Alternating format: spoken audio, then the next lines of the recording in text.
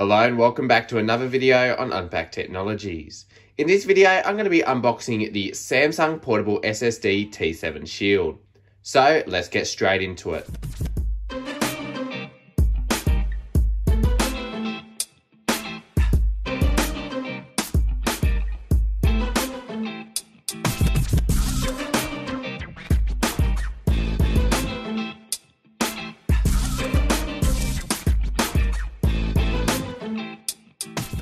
So before we look around the box and get into the unboxing, I'm going to just give you a few details about this SSD.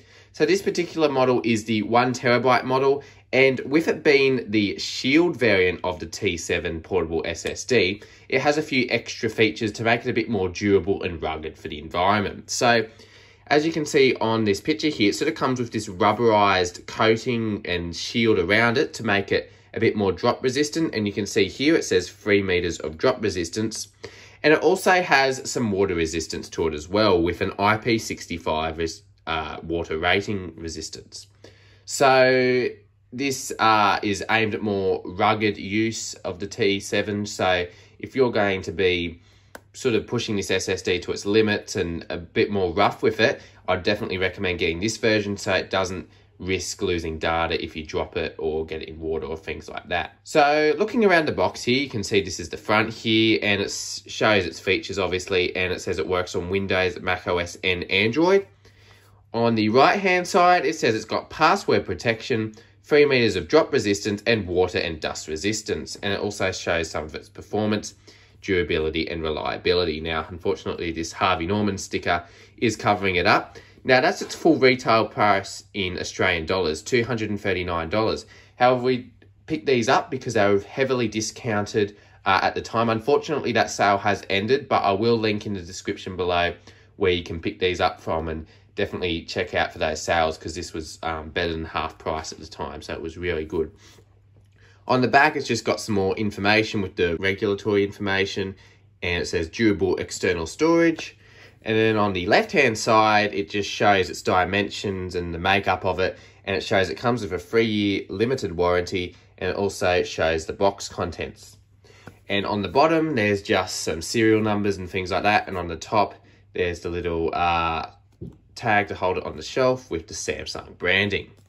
So now let's get straight into the unboxing process. So I've got my unboxing knife here and it's got a bit of um, plastic here that we need to get into. So um, I'll try my best to not damage the box here, uh, which is always easier said than done. There we go.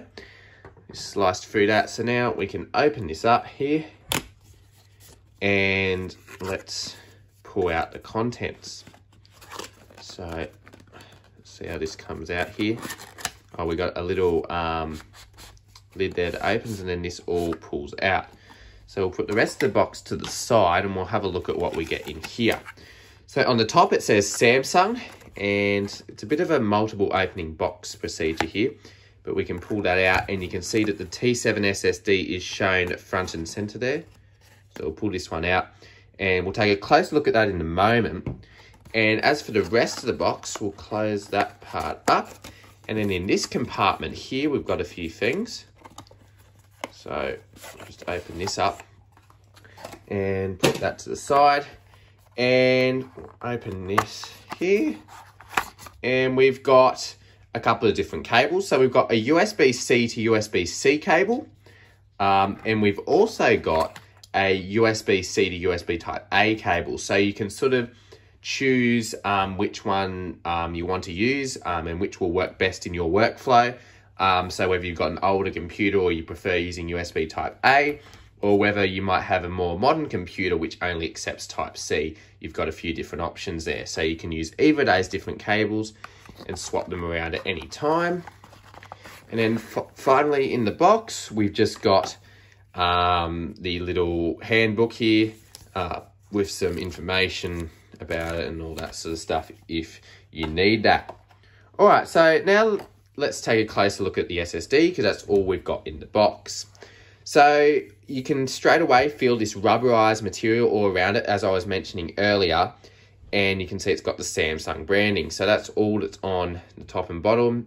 And on the bottom it says T7 Shield. So just got a little bit of branding there.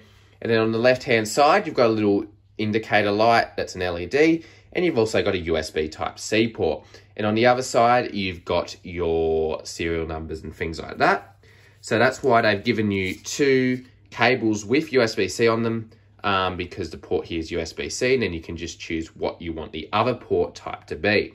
Now on this SSD, if you look at the box here, the performance is rated up to 1050 megabytes per second read and up to 1000 megabytes per second write speed. So what I'm going to do is I've got a bit of a around 16 or 17 gigabyte Final Cut Pro library that I would like to copy over to this SSD. So I'm going to switch over to a screen recording where I show um, that in action and we'll see how quickly it can do it. So I'll switch over to that now. Alright, so now we're on the screen recording. So I've got the Samsung T7 Shield SSD all plugged in via USB-C on my Mac Mini here. And what I want to do is I want to copy over the entire Unpacked Technologies Final Cut Pro library onto this SSD to see how long it takes. Now, um, this isn't the full library, obviously. Um, I usually have to um, delete it and restart it uh, every few months because I run out of storage on my computer. So hopefully this SSD can now help me to store some of these older libraries. So what I'm going to do is move this across here. So we're going to copy it to the T7 Shield and let go and let's see how long it takes. So it's opened up and it's going to take less than a minute to copy over 16.85 gigabytes. Now that is incredibly fast um, compared to all of my um, current methods of using external hard drives, which I'd usually have to wait 20 to 30 minutes to copy over a similar sized file.